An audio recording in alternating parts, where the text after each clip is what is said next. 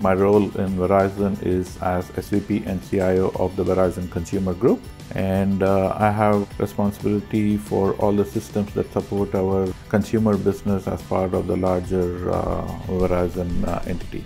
5G unlocks a lot of new experiences for our customers when they are on our network. It, the uh, bandwidth it provides, the latency that it gives with the network. You can download massive movies in a matter of a few seconds, and uh, you can have uh, multiple things uh, like gaming is a, is a huge use case on 5G. Uh, and the best way to do this is to create the, an architecture that can scale dynamically at the same time be modular enough that we can really plug and play uh, the various instances uh, using microservices. So uh, cloud seemed to be the best place to do this. When you go to the cloud, you get the scaling benefits of up and down, and uh, you get the benefits of having a lesser footprint on, on your on-prem data centers. And when we made the choice of going public cloud, uh, we had multiple drivers on any channel at any given time and during any event of the year.